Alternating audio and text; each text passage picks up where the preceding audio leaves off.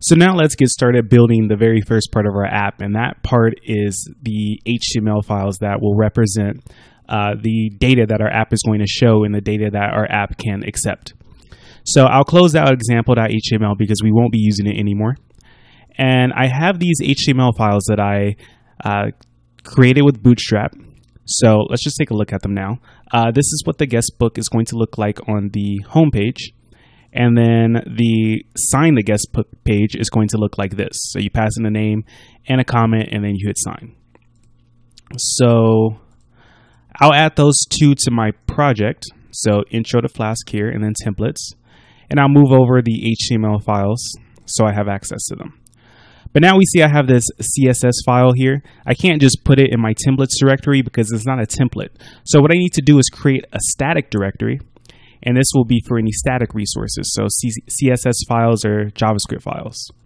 And I'll put it there. But to use it, I have to do something a little special in Jinja. So I'll load the index and the sign file.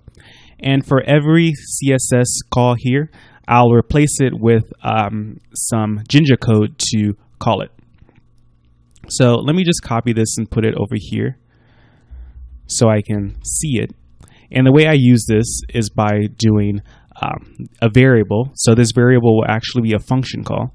So this function is URL underscore for, and I'm going to pass in static. So this is meaning the static directory that I just created and then the file name. So file name is going to be equal to this. So let me copy that again and paste it here and close that out and have the closing curly brackets.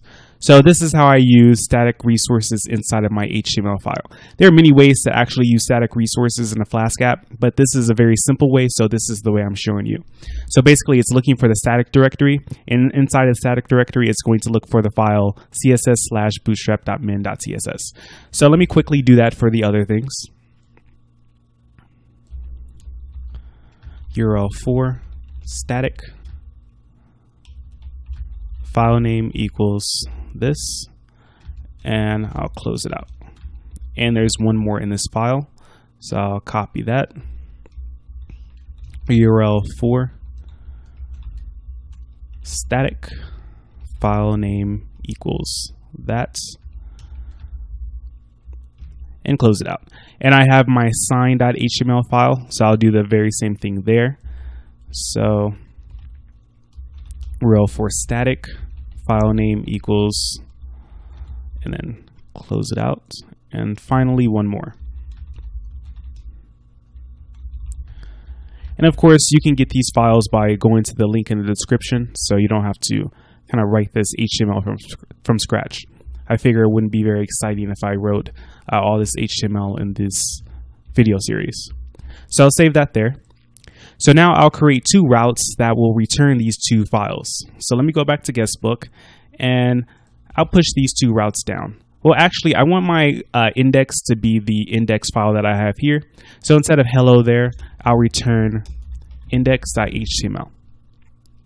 So move that back up. And then underneath it, I'll have another route, and I'll just call this sign.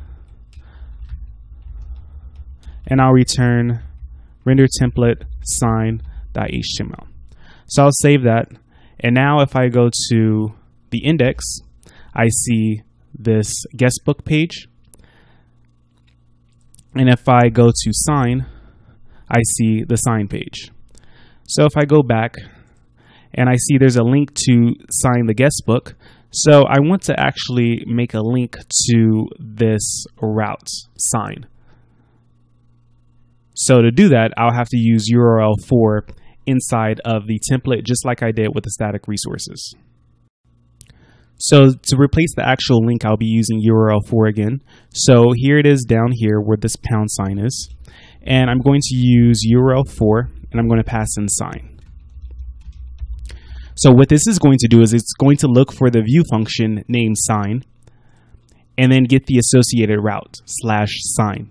If this was something else like sign page and the route was still slash sign, and I pass in sign page here, it will still return slash sign. So I'll save that and I'll run this and let's take a look. So now when I hit the link to sign the guest book, it takes me directly to the sign page because it uh, determined the URL endpoint from the name of the view function. So that's it for actually loading uh, the HTML for our app. So in the next video, I'll show you how to actually accept data from this sign-in form and display it on this guestbook homepage.